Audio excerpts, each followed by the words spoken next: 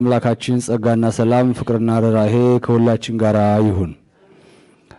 እሺ ዛሬ እንደ እግዚአብሔር ፈቃድ የምንማረው ሁለተኛ መወለድ በሚል ርዕስ ነው።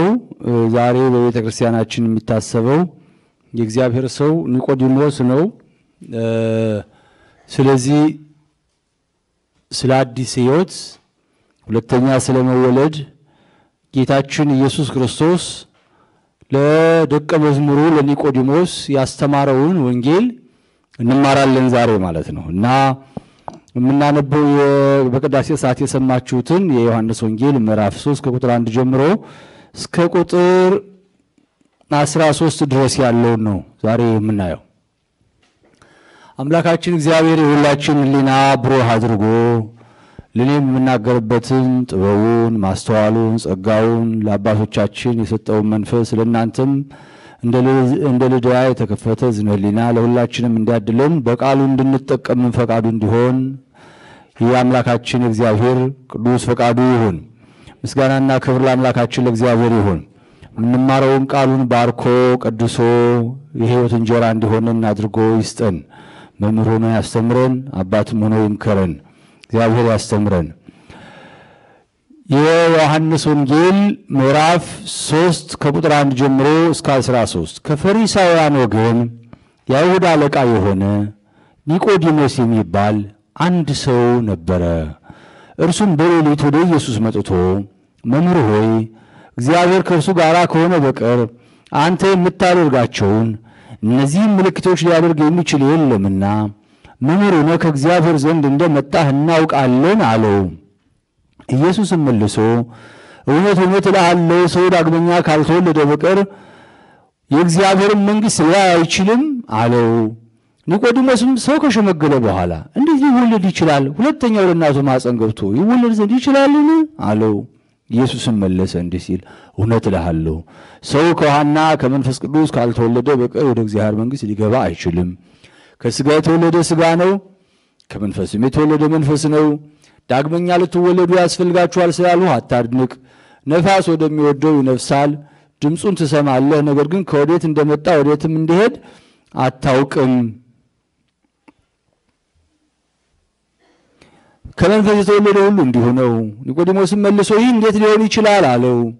ኢየሱስም መልሶ እንዲህ አለው፣ አንተ የእስራኤል መምህር ስትሆን ይህን አታውቅምን? እውነት እውነት እልሃለሁ የምናውቀውን እንናገራለን፣ ያየነውንም እንመሰክራለን፣ ምስክርነታችንም አትቀበሉትም። ስለ ምድራዊ ነገር በነገርኳችሁ ጊዜ ካላመናችሁ ስለ ሰማያዊ ነገር በነገራችሁ እንዴት ታምናላችሁ? ከሰማይ ከወረደው በቀር ወደ ሰማይ የወጣ ማንም የለም፣ እርሱም በሰማይ የሚኖር የሰው ልጅ ነው አለ ይላል። ምስጋና ለእግዚአብሔር ይሁን። የሁለት መምህራን ንግግር ነው ይህ ትምህርት። አንዱ ከላይ የመጣ መምህር አንደኛው ደግሞ እዚሁ ከምድር የተገኘ መምህር ነው። ከላይ የመጣው መምህር ማን ነው? አቤት ኢየሱስ ክርስቶስ ነው። እዚህ ከምድር የተገኘ መምህርስ ማን ነው? ኒቆዲሞስ ነው። ኒቆዲሞስ ተራ ሰው አይደለም። በነገራችን ላይ ኒቆዲሞስ ተራ ሰው አልነበረም። ከፈሪሳውያን ወገን ነው። የአይሁድ አለቃ ነው። እነዚህ ሁለት ቃላት ስለ ኒቆዲሞስ በጣም ብዙ ነገር ነው የሚናገሩት። አንደኛ እምነቱ፣ አመለካከቱ ምን አይነት ሰው እንደነበረ ከፈሪሳውያን ወገን መሆኑን ያሳያል። ምክንያቱም በዚያ ዘመን የነበሩት የሃይማኖት መሪዎች የአይሁድ የሃይማኖት መሪዎች ሁለት ትልልቅ ቡድን ነበራቸው። አንደኛው ቡድን ያውም የማይታረቅ ቡድን ነው። አንደኛው ቡድን የሰዱቃውያን ክፍል ሲሆን ሁለተኛው ደግሞ የፈሪሳውያን ነው። የሰዱቃውያኑ ክፍል ብዙ የሃይማኖት ችግር ያለበት ግን ሀብታሞች ብዙ ጊዜ ስልጣን የመውሰድ መብት የነበራቸው በገንዘብ የበለጸጉ ከመጽሐፍ አምስቱን የሙሴን መጽሐፎች ብቻ የሚቀበሉ በመላእክት መኖር የማያምኑ በሙታን መነሳት የማያምኑ። በቃ ለዚህ ዓለም ብቻ ኑሮ እንደተዘጋጁና እንደተፈጠሩ የሚያምኑ ግን የአይሁድ የሃይማኖት መሪዎች የሚሆኑ ሰዎች ነበሩ እና ሊቀ ካህናት የሆኑ ሁሉ ይሾሙ ነበር። ብዙ ጊዜ ከነሱ ይሾም ነበር። ፈሪሳውያን የሚባሉት ግን ድሆች ናቸው፣ ሀብታሞችም አሉ፣ ነገር ግን የነዚያ የሰዱቃውያን ፈሪሳውያን ማለት ነው የሰዱቃውያን ደካማ ጎናቸው የሃይማኖት ችግር ነበረባቸው። መጽሐፍትን በሙሉ አይቀበሉም። ስለ እግዚአብሔር መንግስትም ያላቸው ትምህርት የተዛባ ነበር። የፈሪሳውያን ግን አንደኛ በእምነት በኩል ችግር አልነበረባቸውም።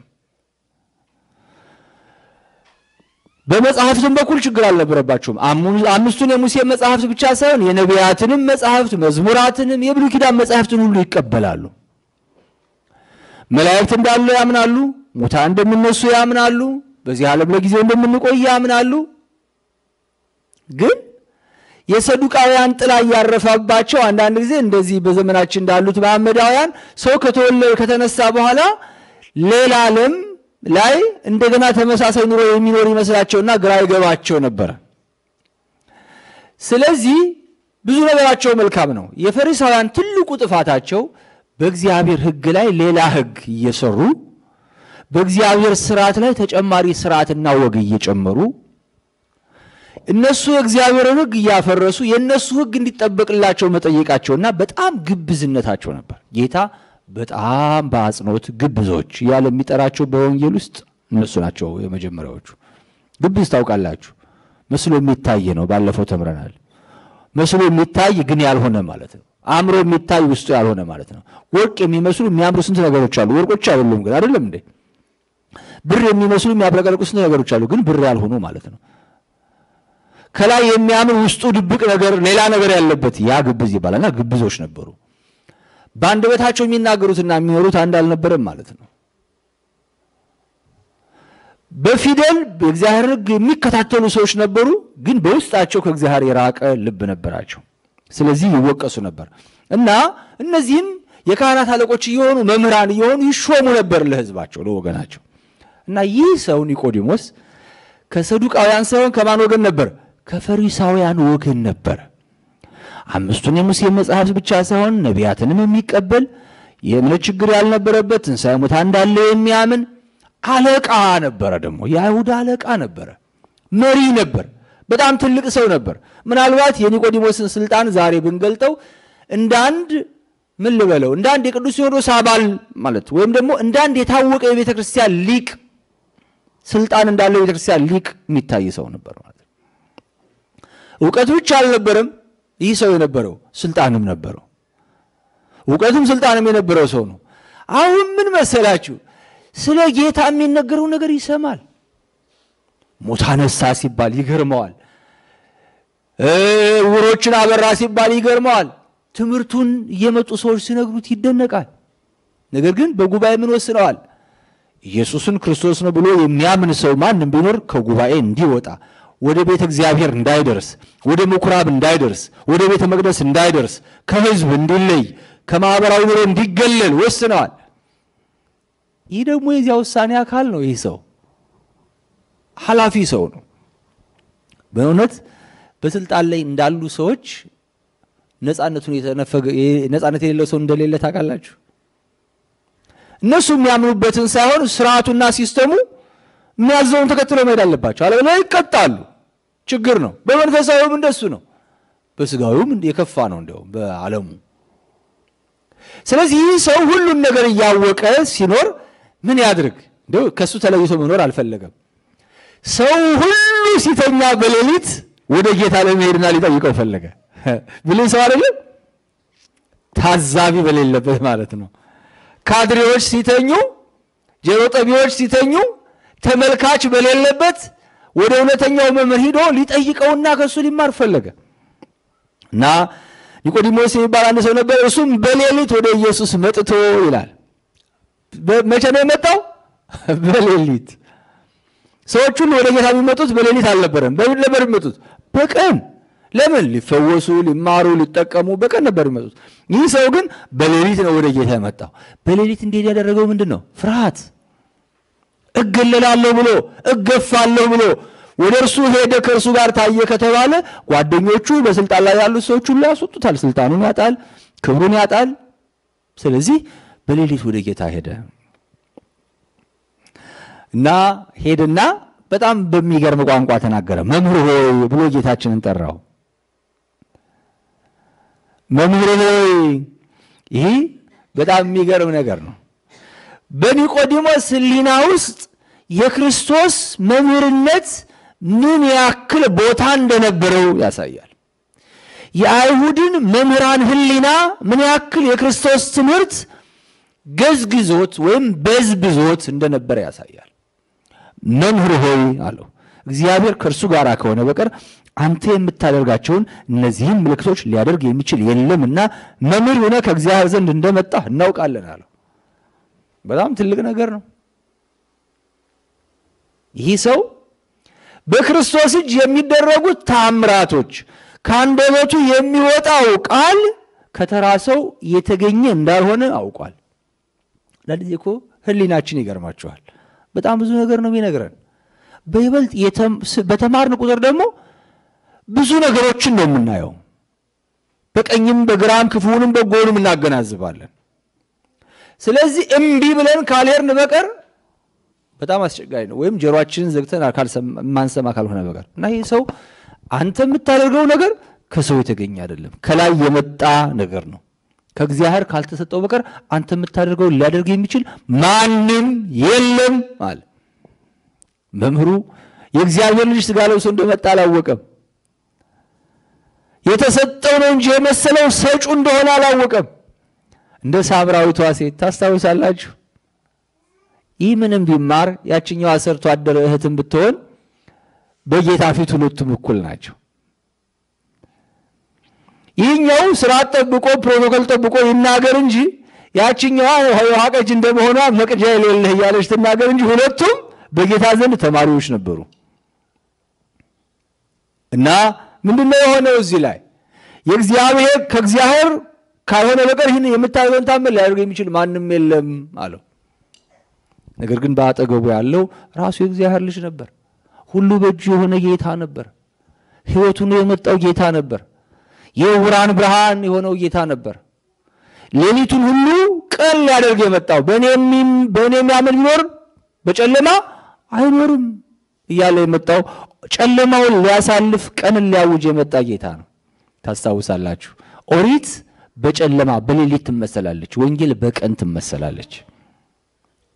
እና የኒቆዲሞስ ሌሊት መምጣት ይላሉ የኛ አባቶች ከግላ ኦሪት አለመላቀቁን በጸጋ መንፈስ ቅዱስ አለመማወቁን ያሳያል ይላሉ የኛ አባቶች። ምን ማለት ነው?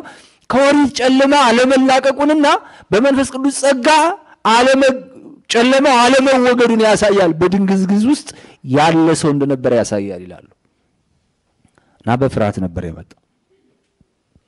ግን በጣም ደስ የሚለው ነገር መምጣቱ ነው መምጣቱ ነው። በጣም ትልቅ ስራ ሰርቶለታል። ይህ ሰው እስከ መጨረሻ ጸንቶ ብዙ በረከት ያገኘ ሰው እንደሆነ በኋላ እናያለን። እና የእግዚአብሔር ሰው ኒቆዲሞስ ይህን ብሎ ሲጠይቅ መምህር ሆነህ ከእግዚአብሔር እንደመጣህ እናውቃለን አለው። መምህር ሆይ ብሎታልና ጌታ ደግሞ ያስተምረው ጀመር ያስተምረው ጀመር። ኢየሱስም መልሶ እንዲህ አለው፣ እውነት እውነት እልሃለሁ ይሄ ጌታ ሕግ የሚሰራበት የመግቢያ ቃሉ ነበር። ሁልጊዜ እውነት እውነት እላችኋለሁ እያለ ነበር የሚያስተምረው። እውነት እልሃለሁ፣ አስረግጬ እነግርሃለሁ፣ የማይለወጥ ነገር እነግርሃለሁ፣ የሚጠቅም ነገር እነግርሃለሁ፣ አሉባልታ ያልታከለበት ነገር እነግርሃለሁ፣ ነፍስን የሚያድን ነገር እነግርሃለሁ፣ እውነተኛ ነገር እነግርሃለሁ፣ እውነት እውነት እልሃለሁ አለው። እውነት እውነት እልሃለሁ ሰው ዳግመኛ ካልተወለደ በቀር የእግዚአብሔርን መንግሥት ሊያይ አይችልም አለው። ይህ ትምህርት ለሊቅ የሚሰጥ ትምህርት ነው። ይህ ትምህርት ላነበበ ሊነገር የሚገባው ትምህርት ነው። ይህ ትምህርት የኒቆዲሞስን ሕሊና የሚፈትን ትምህርት ነው። ጌታ የሚያስተምረው እንደ ተማሪዎቹ ብቃት ነበረ። ለገበሬዎቹ በዘር እየመሰለ ይናገር ነበር፣ ታስታውሳላችሁ። ለነጋዴዎቹ በንግድ እየመሰለ ያስተምር ነበር። ለሴቶቹ ደግሞ በእርሾ እየመሰለ ያስተምር ነበር። በሚያውቁት ነገር እየመሰለ ያስተምር ነበር። ይህ ሰው ደግሞ ሊቅ ነውና የአይሁድ ሊቅ ነውና የተማረ ሰው ነውና የእሱን ሕሊና የሚፈትን በደንብ የበሰለና እውነተኛ የሆነ ትምህርት ያስፈልገው ነበር። ስለዚህ ምስጢረ ጥምቀትን አስተማረው። ምን ብሎ ባለው ሰው ዳግመኛ ካልተወለደ በቀር ወደ እግዚአብሔር መንግሥት ሊገባ አይችልም አለው። ኒቆዲሞስ በድብቅ መጥተህ አትድንም አለው። ኒቆዲሞስ በጨለማ ጉዞ የዘላለም ሕይወት አይገኝም አለው። የአስተሳሰብ ለውጥ፣ የባህሪ ለውጥ፣ ቆራጥነት ያስፈልጋል። በምታምንበት መገኘት አለብህ። አሁን በጨለማ እንደመጣ በብርሃንም መምጣት መቻል አለብህ አለው ጌታችን። ምስጋናና ክብር ለስሙ ይሁን። አንዳንድ ጊዜ እኛ በድብቅ ባደረግነው ነገር በሌላው ዘንድ ሌላ፣ በእግዚአብሔር ፊት ደግሞ እንደ እግዚአብሔር እንደሚፈልገው ሆነን የምንጠቀም ይመስለናል። አይደለም። ሁልጊዜ ነገራችን ግልጥ መሆን አለበት። ክርስትናችን በቤተ እግዚአብሔርም ክርስትናችን በሌላም ቦታ ግልጥ መሆን መቻል አለበት። ስለዚህ ለኒቆዲሞስ ግልጽ የሆነ ነገር ነገረው። ሁለተኛ መወለድ ያስፈልጋል፣ ከፍርሃት መላቀቅ ያስፈልጋል አለው። ከስጋ የተወለደ ሰው ሁሉ አለ ጌታችን፣ ስጋ ነው። ታውቃላችሁ፣ መወለድ ሁላችን ተወልደናል። ከእናት ከአባቶቻችን ተወልደናል። እኔ ከአባቴ ከእናቴ ተወልጃለሁ። አባቴ እናቴን በተወሰነ ደረጃ በመልክ መስላቸዋለሁ። አባቴ አርፈዋል፣ እናቴም አርፋለች። እኔም እንደነሱ እከተላቸዋለሁ። ከስጋና ከደም የተወለደ ምን ይሆናል? ሟች ነው። ሟች ነው፣ ኃላፊ ነው። ከስጋና ከደም የተወለደ ከስጋና ከደም የወለዱት ወላጆቹ የሚበሉትን እየበላ ያድጋል፣ የሚጠጡትን እየጠጣ ያድጋል፣ የሚያወርሱትን ርስት ይወርሳል። በኋላም እሱ ለልጆቹ አውርሶ እሱ ደግሞ በተራው ያልፋል። ነገር ግን ለዘላለም ሕይወት ለመብቃት ሰው አለ ጌታችን ሁለተኛ መወለድ አለበት አሉ። ወደ እግዚአብሔር መንግሥት ወደ እኔ አንድነት ከእኔ ጋር ለዘላለም ለመኖር የእኔ ሆኖ ለመኖር በእግዚአብሔር ክብር ለመኖር ኒቆዲሞስ ሁለተኛ መወለድ ያስፈልጋል፣ ለአንተም ያስፈልግሃል አለው። እንዲህ የሚገርም ነገር ነው። በጣም የሚያስደነግጥ ትምህርት ነው። እኔና እናንተ የምንጠይቀውን ጥያቄ ኒቆዲሞስ ሊቅ ስለሆነ መጠይቋል። አብረን ያን እናየዋለን በኋላ። ዳግመኛ መወለድ ያስፈልጋል አለው ጌታ። ይገርማችኋል፣ ልደት ወሳኝ ነው። የምንወለድበት የምንወለደው የልደት አይነትን በጣም ወሳኝ ነው። የተወለድንበት ቦታ ሳይቀር አሁንማ ወሳኝ ሆኗል። እንደምታውቁት የምንወለድበት ሀገር፣ የምንወለድበት አካባቢ፣ የምንወለድበት ህብረተሰብ፣ የምናድግበት ካልቸር ያ ሁሉ በእኛ ህይወት ላይ ከፍተኛ ተጽዕኖ አለው። ስለዚህ ከድሃ የተወለደ ምን ይሆናል? በመከራ ላያድግም ይችላል፣ ሊሞትም ይችላል። እግዚአብሔር በምሕረቱ ከጠበቀው ደግሞ ያድጋል። እንደኔ ያለው በደህና አካባቢ የተወለደ በጣም በብዙ መንገድ በእንክብካቤ ያድጋል። አሜሪካ የተወለደ ልጅና እኛ ሀገር የተወለደ ልጅ አንድ አይደለም፣ አንድ አይደለም። እኛና ልጆቻችን እኩል አይደለም የምናድገው። የምንወለድበት ቦታ ይወስናል። በህይወትም እንደዚሁ ነው። ሰው ከእግዚአብሔር ሁለተኛ መወለድ አለበት የተባለበት ምክንያት መንፈሳዊውን ጸጋ፣ መንፈሳዊውን ክብር ለማግኘት ስጋዊ አካል ሲለወጥ የማይለወጠውን ጸጋ ለማግኘት የክርስቶስ ለመሆን በተለየ መንገድ መወለድ ያስፈልጋል ነው የሚለው። በእርግጥ ሰው ሁልጊዜ ነው የሚወለደው እንደምታውቁት። በምድርም እኮ ራሱ አንድ ጊዜ ብቻ የተወለድ ነው። ከእግዚአብሔርና ከወላጆቻችን ብቻ አይደለም የተወለድ ብዙ ጊዜ ተወልደናል። ወላጆቻችን ወለዱን አንድ ያደግንበት ቤተሰብ እንደገና የምንናገረውን ቋንቋ በመስጠት በማስተማር እንዴት እንደምንመገብ በማስተማር በችሎታ ወልዶናል። አስተማሪዎቻችን፣ መምህሮቻችን በአስተሳሰብ እንደገና ወልደውናል ወልደውናል ወልደውናል። ስለዚህ መምህራን በቀለም ይወልዳሉ፣ ወላጆች በስጋ ይወልዳሉ። አካባቢ የምናድግበት አካባቢ ራሱ መልካም ከሆነ በጨዋነት እንድናድግ አድርጎ በጨዋነት በመልካም ሰውነት ይወልደናል። ክፉ አካባቢ ከሆነ ደግሞ በክፉ ማንነት እንወለዳለን። ስለዚህ ሰው ሁልጊዜ ለውጥ የሚያስፈልገው ፍጥረት ነው። መታደስ የሚያስፈልገው ፍጥረት ነው። ስለዚህ በክርስቶስ ትምህርት ደግሞ ሁለተኛ መወለድ ያስፈልጋል ተብሎ ለሊቁ ተነገረው እና ኒቆዲሞስ ምን አለ መሰላችሁ? ሰው ከሸመገለ በኋላ እንደኔ አለ ሰው ከሸመገለ በኋላ እንዴት ሊወለድ ይችላል? ሁለተኛ ወደ እናቱ ማፀን ገብቶ ይወለድ ዘንድ ይችላልን? አለው።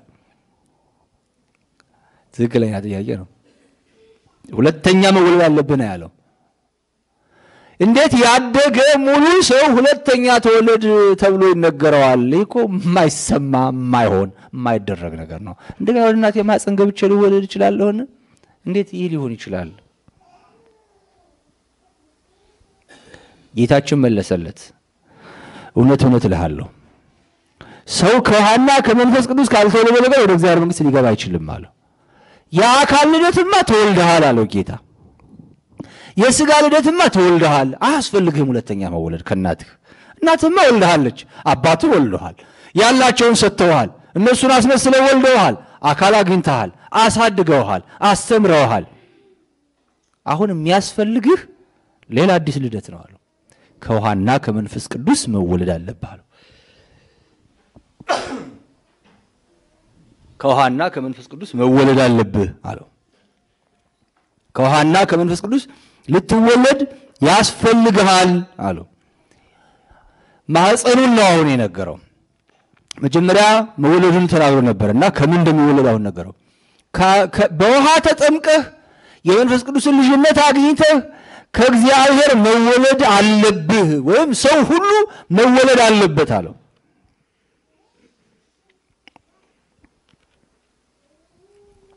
ስለዚህ ይህን ሲያብራራለት ምን አለ መሰላችሁ? ኢየሱስ መለሰ እንዲህ ሲል እውነት ያለው ሰው ከውሃና ከመንፈስ ካልተወለደ በቀር ወደ እግዚአብሔር መንግሥት ሊገባ አይችልም። ከስጋ የተወለደ መረጃ ስጋ ነው፣ ከመንፈስም የተወለደ መንፈስ ነው አለው። ይሄ ግልጽ ለእኔና ለእናንተም ግልጽ የሆነ ትምህርት ነው። ምንድን ነው? በስጋ የተወለድነው በስጋ ነው። ስለዚህ ቅድም እንዳልኳችሁ በተወለድንበት አካል ከወለዱን ሰዎች ባገኘነው ነገር በዚህ በግዙፉ ዓለም እንኖራለን። ወደዚህ ዓለም የመጣ ነው በመወለድ ነው፣ እንደምታውቁት በመገኘት ነው። ስለዚህ እዚህ ካላችሁ ኢትዮጵያውያን የሚወለዱ ልጆች እዚህ ሀገር ስለተወለዱ ከእናንተ ስለተወለዱ ምንድን ናቸው? የዚህ ሀገር ሰዎች ናቸው። የዚህ ሀገር ዜጎች ናቸው። የእናንተ ልጆች ናቸው። የዚህ ሀገርም ዜጎች ናቸው። አንደኛ የተወለዱት እዚህ ነው። ሁለተኛ የተወለዱት ከእናንተ ነው። ሰውም እንደዚሁ ከእግዚአብሔር ሲወለድ አንደኛ የእግዚአብሔር ልጅ ይሆናል፣ ሁለተኛ የመንግሥተ ሰማያት ዜጋ ይሆናል። በስጋ የወለደ አባት በስጋ ያሳድጋል፣ የስጋ ምግብ ይመግባል፣ የስጋውን ትምህርት ያስተምራል፣ ለቁም ነገር ያበቃል። እሱ ያለውን ሁሉ አውርሶ ይሄዳል። በመንፈስ የወለደ እግዚአብሔር ደግሞ መንፈሳዊውን ጸጋ ያለብሳል፣ በማይሞት አካል ይወልዳል። እሱ እንደማይሞት ለዘላለም ክብርና ሕይወት ከሙታን ለይቶ አስነስቶና አክብሮ መጀመሪያ በነፍስ መንግስቱን ያወርሰናል፣ በኋላም በትንሣኤ ሙታን አክብሮ አስነስቶ መንግስቱን ያወርሰናል። ስለዚህ ከሚሞቱት ወላጆች የተወለዱ ሁሉ ከማይሞተው አባትና እናት ከእግዚአብሔር እንደገና መወለድ አለባቸው አለ ጌታ። ስለዚህ ከውሃና ከመንፈስ ቅዱስ ነው የምትወለደው አለው። የምንጠመቀው ለዚህ ነው። አንድ በክርስቶስ ያመነ ሰው ይጠመቃል። ጥምቀት ተራ ስርዓት አይደለም። ጥምቀት ሰው የእግዚአብሔር ልጅ የሚሆንበት የደህንነት ስርዓት ነው። የሐዲስ ኪዳን ስርዓት ነው። ለአማኞች የሚፈጸም ስርዓት ነው። ወደ ቤተ ክርስቲያን መግቢያ በሩ ጥምቀት ነው። የቤተ ክርስቲያን አባል የምንሆንበት መግቢያ በሩ ጥምቀት ነው። ሁለተኛ የተወለዱ ሰዎች ወደ እግዚአብሔር መንግሥት ይገባሉ። ስለዚህ ይቺ የእግዚአብሔር መንግሥት ስለሆነች የተጠመቁ ሰዎች ብቻ ይሰበሰቡባታል። ለዚህ ነው። ስለዚህ ከስጋ የተወለደ ስጋ ነው አለው። ዳግመኛ ልትወለዱ ያስፈልጋችኋል ስላሉ አታድንቅ፣ ለዚህ ነው አለው እና ነፋስ ወደሚወደው ይነፍሳል አለው። ምሳሌ ሰጠው። ሰው ዛሬ ዛሬ መሳሪያ ያስቀምጠው እንዲሚሽከረከረውን ነገር እያዩ ወደ የት እንደሚነፍስ እንትን ይላሉ። ሰው ግን በራሱ ግን ዝም ብሎ አንድ ጊዜ እንደዚህ ሲገፋው፣ አንድ ጊዜ እንደዚህ ሲገፋው እያሰየፈ ከነፋስ ራሱን ለመሰወር ይሞክራል እንጂ በትክክል የነፋስን መንገድ ዝም ብሎ ሰው ሊያውቅ አይችልም። በሆነ መንገድ በመሳሪያ ኃይል ካልሆነ በቀር እንደዚሁ ነፋስ ስነፍስ ታየዋለህ። ከወዴት እንደሚመጣ ወዴት እንደሚሄድ ግን ለማወቅ ትቸገራለህ። የሰው የመወለድ ነገርም እንደዚሁ ነው። ትወለዳለህ፣ ስትወለድ ታየዋለህ እንጂ የሚከናወነው በጸጋ መንፈስ ቅዱስ ነው አለው። ስለዚህ ዳግመኛ ልትወልድ ያስፈልጋችሁ ስላልኩ አታድንቅ። ኒቆዲሞስ መልሶ ይህ እንዴት ሊሆን ይችላል አለው። ይህ እንዴት ሊሆን ይችላል? ይህ እኮ የማይሆን ነገር ነው። እንዴት ነው አለው። አንተ የአይሁድ ሊቅ ነህ፣ ግን ይህን አታውቅም አለው። የሚገርም ነገር ነው። አንድ ነገር ልንገራችሁ። አንድ እውነት ቢኖራችሁ በትክክል እርግጠኞች የሆናችሁበት ነገር ግን አንድ ሰው ባይቀበላችሁ በቃ ምክንያታዊ መስሎ አልታየኝም አልቀበልም ቢል ምንድን ነው የምትሉት? እናንተ እርግጠኞች ናችሁ። ከዚያ ልታልፉ አትችሉም። ያለውን ነገር ነው የምትነግሩት። የአይሁድ ሊቅ ነኝ መምህር ነኝ ትላለህ፣ ግን እናንተ አታውቅም አለው። ውዳሴ ከዘለፋ ነው። መምህር ነህ ብሎ ሊቅነቱን ግን አታውቅም ብሎ ደግሞ ደካማነቱን ነግሮታል። እንግዲያስ አንድ ነገር ልንገርህ፣ ስለ ምድራዊው ነገር ስነግረህ ካላመንክ፣ ስለ ነገራችሁ ካላመናችሁ፣ ስለ ሰማያዊ ነገር ነገራችሁ እንዴት ትታምናላችሁ? ይህ እኮ በምድር ላይ የሚከናወን ምስጢር ነው እግዚአብሔር ለሰዎች ያዘጋጀው።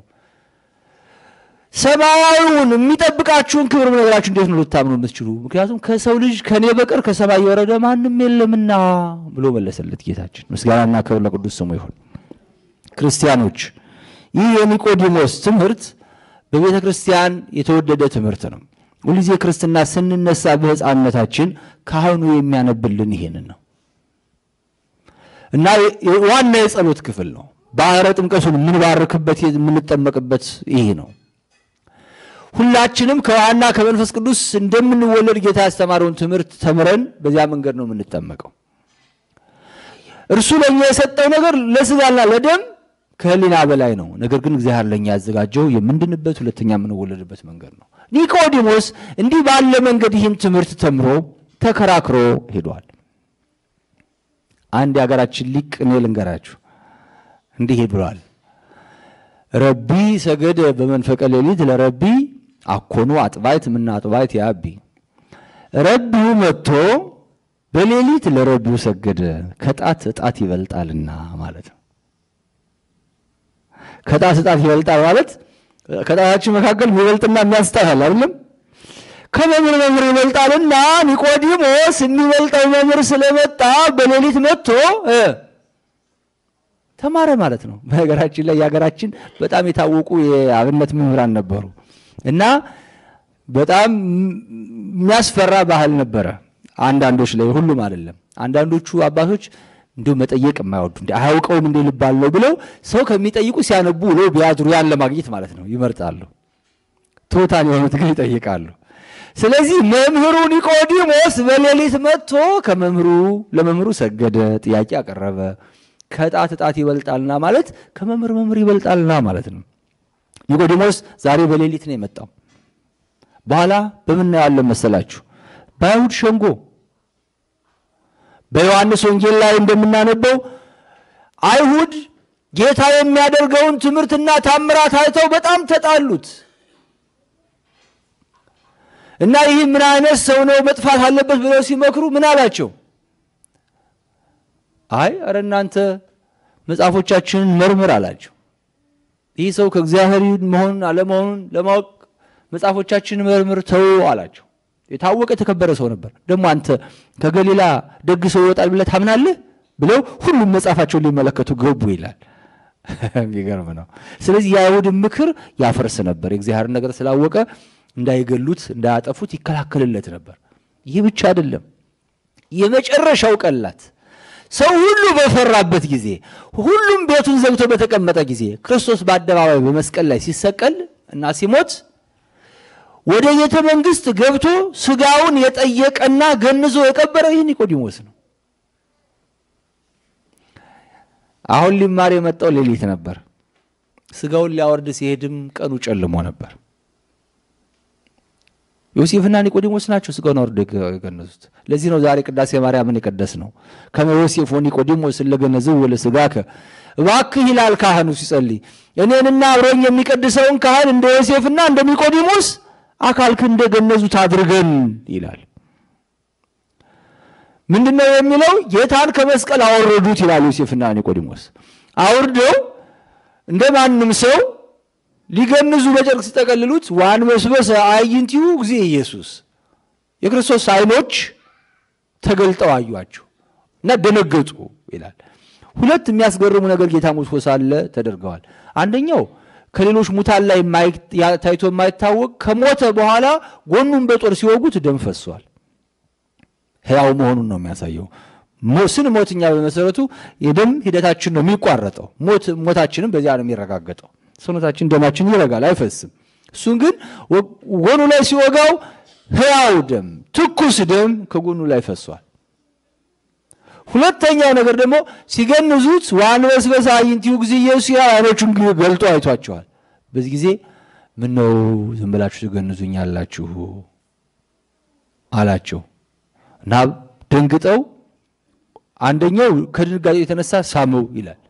አንደኛው ደግሞ መሬት ላይ ወደቀ እና ምን እንበል አሉት። ቅዱስ እግዚአብሔር ቅዱስ ኃያል ቅዱስ ሕያው ዘኢይመውት ዘተወልደ ማርያም ቅድስት ድንግል እያላችሁ ገንዙኝ አላችሁ። ኪዳን መሰረቱ እሱ ነው ይባላል። ከድንግል ማርያም የተወለደው ቅዱስ የእግዚአብሔር ልጅ ይቅር በለን እያሉ ገንዘውታል። ዋነበረ ዋነበረክሙ ዲበ መንበረ ሶፎር ዛሬ በዚህ ክፉ ቀን መጥታችሁ እናንተ የኔን አካል በክብር እንዳሳረፋችሁ እናንተንም በፍርድ ቀን በክብር ዙፋን ላይ አስቀምጣችኋለሁ ብሏቸዋል ይላሉ የቤተክርስቲያናችን ትውፊት። ስለዚህ ኒቆዲሞስ የተለየ ክብር ያለው የተለየ መወደድ ያለው መምህር ነው፣ ክርስቲያን ነው፣ ትልቅ አባት ነው፣ ኦሪትን የተረጎመ ሊቅ ነበረ። ስለዚህ ክርስቲያኖች እኛም ለጌታችን ታማኞች መቻል አለብን። የምናምነውን ጌታ በግልጥ የምንከተል መሆን መቻል አለብን። በኑሯችን ክርስቶስን የምናሳይ መሆን መቻል አለብን። ሁለተኛ በእርግጥም የተወለድን ልጆቹ መሆን መቻል አለብን። ያለኛ ጸጋን ያለኛ በረከትን የሚያድል ስለሆነ ማለት ነው። ምስጋናና ክብር ላስተማረን ለመከረን ለእግዚአብሔር ይሁን። ቸር ስለሆነ ምሕረቱ ብዙ ስለሆነ እግዚአብሔር ይመስገን። የምስጋና ጌታ እግዚአብሔር የሰማነውን ቃሉን በልቦናችን ያሳድርብን፣ ለመንግስቱ ያብቃን። አሜን አሜን አሜን። በጣም ጥሩ። አሁን አንድ የተወሰነ ማስታወቂያ አለን ማሳስባችሁ። አንደኛ የሚቀጥለው ሳምንት ምንድን ነው ያለው? ሆሳዕና። ሌላስ ምንድን ነው የሚቀጥለው ሳምንት? መጋቢት መድኃኔዓለም ነው። የሚገርም በጣም የሚገርም ቀን ነው። ጌታ የተሰቀለበት ቀን መጋቢት 27 ቀን ሆሳዕና ላይ ውሏል ዘንድሮ። ስለዚህ በጣም የተለየ በዓላችን ነው። ከነገ ሐሙስ ጀምሮ አባታችን ትልቁ ሐዋርያ በቅዱስ ሲኖዶስ ደረጃ ነው። ታውቃላችሁ፣ አዲስ ሐዋርያ ተብለው ስም የተሰጣቸው አባ ወልደ ትንሣኤ በመላው ዓለም በአውስትራሊያ፣ በአፍሪቃ በልዩ ልዩ ቦታ በዩጋንዳ፣ በሳውዝ አፍሪቃ፣ በሌሎቹም በኬንያ፣ በሌሎቹም ቦታዎች ሁሉ እዚያ ከሳውዝ አፍሪቃ ጋር የሚያጎራብቱት ሀገሮች ሁሉ እየሄዱ በአውስትራሊያ፣ በኒዘርላንድ፣ በኒውዚላንድ በሌላውም ክፍለ ዓለም በዩናይትድ ስቴትስ በካናዳ የትኛውም ቦታ የትኛውም ቦታ ነፃነት ባለበት ቦታ ሂዶ መመለስ በሚቻልበት ቦታ ሁሉ እየሄዱ እየዞሩ ኢትዮጵያውያንን በየቦታው በየሀገሩ እያስተባበሩ እያደራጁ እያስተማሩ ብዙ ብዙ ብዙ ብዙ አገልግሎት የሰጡ አባት ናቸው። እዚህ የተነሳ በጥቅምቱ ሲኖዶስ ከዓመት ነው ከሁለት ዓመት በፊት ቅዱስ ሲኖዶስ ከዚህ ጊዜ ጀምሮ አዲስ ሐዋርያ ተብለው እንዲጠሩ ብሎ ስም ሰጥቷቸዋል። በእውነት በሚገርም ሁኔታ የእግዚአብሔርን ጸጋ የሚገልጡ ሰው ናቸው። እኔ በጣም ደስ ይለኛል። የተወሰኑ መነኮሳት አሉ፣ ለገንዘብ የማይኖሩ ለወንጌል የሚኖሩ ራሳቸውን አሳልፎ የሰጡ ቢሰደቡ ቢነቀፉ ምን ቢባሉ ጉዳያቸው ያልሆነ ድሮ ድሮ እኮ መቼም ታውቃላችሁ አንድ ሰው እንደው ክብሩ ሲነካ የመጨረሻ ያው ቀን ዓለሙ የሚያልፍ ነው የሚመስለው። አባታቸው ይላሉ እንደ ድሮ ትንሽ ነካ ሲያደርጉኝ አባ አባ ሲሉኝ ነው እንጂ ደስ የሚለኝ እንደው ገና ሲናገሩኝ እንደው እዚያ ባሉ ነበር ምደርሰው። አሁን መድኃኔዓለም ይመስገን ልክ ልኬን ያቀምሱኛል። እኔም ተምሬ ተምሬ ተምሬ በረከት እያገኘሁ እኖራለሁ ይላሉ እና በጣም በተለየ ጸጋ የሚኖሩ አባት ናቸው። በተለየ ጸጋ የሚኖሩ አባት ናቸው። ደግሞ በአገልግሎት ይህን የምታዩትን ሰባካያኑ ሁሉ በአገር ቤትም በዚህም ያለነው ሰዎች ሁሉ ሞዴል የሆኑ ሰው ናቸው። በትጋት አብዝቶ በማስተማር ባለመታከት ምሳሌ የሆኑ ሰው ናቸው። ለመናፍቃን መልስ በማዘጋጀት አባ ወልደ ትንሣኤን ያክል ለኢትዮጵያ ኦርቶዶክስ ተዋሕዶ ቤተክርስቲያን የተሟገተ ሰው የለም። በእውነት የለም። በሚገርም ሁኔታ ለእያንዳንዱ ከመናፍቃን ለሚነሳ ጥያቄ ርዕስ ሰጥተው አስተምረዋል፣ ሰብከዋል። በካሴትም በኦዲዮም በቪዲዮም በትነዋል በዓለም ዙሪያ ያን ፕሮቴስታንቶች በአዲስ አበባ እንደ አደይ አበባ በፈነዱበት ጊዜ ስለ ታቦቱ፣ ስለ ስዕሉ፣ ስለ ዕጣኑ፣ ስለ ማኑ፣ ስለ ምኑም ጥያቄ በሚነሳበት ሰዓት አባ ወገባቸውን ታጥቀው የቤተክርስቲያን ጠበቃ ሆነው ብዙ ስራ ይሰሩ ነበር እና ያን ሁሉ አገልግሎት አይቶ ቅዱስ ሲኖዶስ ስም የሰጣቸው ትልቅ አባት ናቸው የሚመጡት። አባ ኃይለ ገብርኤልም ይመጣሉ። ስለዚህ ሐሙስ ልክ ስድስት ሰዓት ላይ ጉባኤ ይጀመራል። እንግዳ ጋብዘናል። አደራችሁን ማዕዱ ላይ ሁላችሁ እንድትሳተፉ የእግዚአብሔርን ቃል እንድትማሩ ከስድስት ሰዓት እስከ ስድስት ሰዓት ተኩል ጸሎት እናደርጋለን። ልክ ስድስት ሰዓት ተኩል ላይ አባ መድረክ ላይ ይወጣሉ። ከዚያ በኋላ እስከ ሰባት ሰዓት ተኩል ትምህርቱ ይቀጥላል ማለት ነው። በስምንት ሰዓት ሁላችሁም ወደ የቤታችሁ ትሄዳላችሁ። አርብም እንደዚሁ አርብም እንደዚሁ። በነገራችን ላይ ሌላም ምክንያት አለ። የፊታችን ሮብ ተጽዕኖ ይባላል። ሮብ፣ ሐሙስ፣ ዓርብ ተጽዕኖ ነው የሚባለው። ጌታ ወደ ወደ ኢየሩሳሌም መሄዱ የሚታሰብበት ነው። እያንዳንዱ ቀን መዝሙር በቅዱስ ያሬድ ተሰርቶለታል። ስለዚህ የተለየ መታሰቢያም ነው መንገዱን የምናደርገው እና ዓርብም እንደዚሁ ጉባኤው ይቀጥላል። ቅዳሜ ከሶስት ሰዓት ነው የሚጀምረው። ዋዜማ እንቆማለን ሶስት ሰዓት ላይ። ከዚያ ዋዜማው ወደ አምስት ሰዓት ያልቃል። ዋዜማው አምስት ሰዓት ላይ የወንጌል ጉባኤው ይጀምራል። እስከ ሰባት ሰዓት ተኩል ድረስ ይቀጥላል። አሁንም ማለት ነው። እሁድ ታቦት ይዘን እንወጣለን። ዘንባባ ይዛችሁ እየዘመራችሁ በአህያዋ ጀርባ ላይ የነበረውን ጌታ የሚወክለውን ታቦት ይዘን እየዘመርን ታቦቱን ይዘን ወጥተን ተመልሰን እንገባለን። በተለየ ስነ ስርዓት የምናከብርበት ዕለት ነው። ስለዚህ ለዘመዶቻችሁም ለጓደኞቻችሁም ንገሯቸው። ጌታን ሆሳዕና እያሉ እንዲያመሰግኑት የክብር ባለቤት ራሱ ኢየሱስ ክርስቶስ ወይም መድኃኔ ዓለም ኢየሱስ ክርስቶስ ነው። ባለቤቱ በቤቱ ልዩ በልዩ ክብር የምናከብርበት ቀን ስለሆነ ከተማው ሁሉ እንዲያውቅ ያስፈልጋል። ለሁሉም ዝናውን አዳርሱ። ማስታወቂያው ያልደረሳችሁ ማስታወቂያውን ሁላችሁም ይዛችሁ እንድትሄዱ አደራ አደራ አደራ እላችኋለሁ። የደረሳችሁ ደግሞ ደርሷችኋል። በፎቶ በስልካችሁ ላይ ፎቶግራፍ አንስታችሁ ለጓደኞቻችሁ ሁሉ text አድርጉላቸው። እየሰማችሁ ነው። ዛሬ ቤታችሁ ሳትደርሱ የቤት ስራ ተሰጥቷችኋል። ሰምታችሁኛል ሁላችሁም አይደለም? ማስታወቂያውን በስልካችሁ አንስታችሁ text አድርጋችሁ ላኩ ነው ያልኳችሁ፣ ለጓደኞቻችሁ መጥተው እንዲማሩ። ስለዚህ እሱን አድርጉ። በዓሉን በክብር እንድናከብር ያስፈልጋል። እናቶች ተዘጋጅተዋል። አባቶች ለፋሲካ ተዘጋጁ። ባለፈው የተወሰኑ ሰዎች ተመዝግበዋል። መዝጋቢዎች አልነበራችሁም የተወሰናችሁ ሰዎች። ስለዚህ ዛሬ መዝገቡ እንዲቀጥል ወደ አስራ ምናምን ሰው አባቶች ተመዝግበዋል ባለፈው መሰለኝ። ስንት ናቸው አንተዬ? አስር አስር ተመዝግበዋል። አስራ ሁለት ከደረሳችሁ አስራ ሁለቱ ሐዋርያት አስራ ሶስት ከደረሳችሁ ከጌታ ጋራ እንዲያያለ ቁጥር ትርጉም እንሰጠዋለን። ቢያንስ በዚህ ስድስት በዚህ ስድስት አባት ለትንሣኤ እንፈልጋለን። የባህል ልብሳችሁን አዘጋጁ። ያን ቀን ያን ቀን ዝም ብሎ መሄድ የለም። ሞት ድል ተነሳ ብሎ ሳይዘምር ወደ ቤቱ የሚመለስ አባት የለም እና ሁላችሁ እንድትዘጋጁ። ስለዚህ ለመጋቢት መድኃኔዓለም እናቶች በሚገባ እየተዘጋጁ ናቸው። ለትንሣኤ እየተዘጋጁ ናቸው። አባቶችም ተዘጋጁ። በእሱ መንገድ ባህሉን እናከብራለን። ይህ ለሁላችን ክብር ነው። በእውነት በጣም ደስ የሚል ጸጋ ነው። እሱ እንድናደርግ አሳስባለሁ። ሌላው ዛሬ እዚሁ ከአባ ሳልለይ ስማ ተዋህዶ የምትል በአባ ወልደ ትንሣኤ የተዘጋጀች መጽሐፍ አለች እና በጣም ወሳኝ የሆነ በጣም አወዛጋቢ በሆኑ ርዕሶች ላይ ብዙ ጥያቄዎችን የሚመልስ መጽሐፍ ነው። ዋጋው አስር አስር ብር ነው። እኛ ጋር አሁን የቀረው 23 መጽሐፍ ብቻ ነው። ስለዚህ ዓላማችን ዛሬ በሙሉ ሁሉም መጽሐፎች እንዲሄዱና አባ ሲመጡ የወሰዳችሁትን መጽሐፍ ማስፈረም ትችላላችሁ። ሌላም ላነሳችሁ ደግሞ እናዛለን ከሎስ አንጀለስ ማለት ነው። 23 መጽሐፎች ቀርተዋል። ለእናንተም ለጓደኞቻችሁም እየያዛችሁ እንድትሄዱ አሳስባለሁ።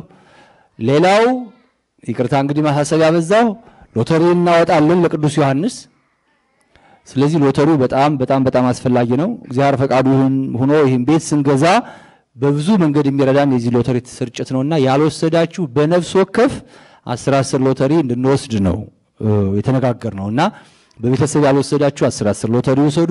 ወስዳችሁ የጨረሳችሁ ተጨማሪ ይዛችሁ ሂዱ። እሱንም አሳስባለሁ። በተረፈ አስራታችሁን የምታወጡ አስራታችሁን በመስጠት አስተዋጽኦ የምታደርጉ የአባልነታችሁን አስተዋጽኦን በሰዓቱ በመክፈል ቤተክርስቲያናችሁን ልትረዱ ልታግዙ ይገባል። ይህ ሁሉ መሰባሰባችን ተጋግዘን ስለምንሄድ ነው። የሚያገለግለው በቃሉ በቃሉ ሲያገለግል፣ እናንተ ደግሞ በንጽህና በቅድስና እግዚአብሔርን በመታዘዝ በአስራታችሁ በበኩራታችሁ ስታገለግሉ እየሰፋን እያደግን እንሄዳለን። እሱ ለሁላችን እግዚአብሔር የሰጠን በረከት ነው። አምላካችን እግዚአብሔር ስላስተማረን ስለመከረን ምስጋናና ክብር ለቅዱስ ስሙ ይሁን።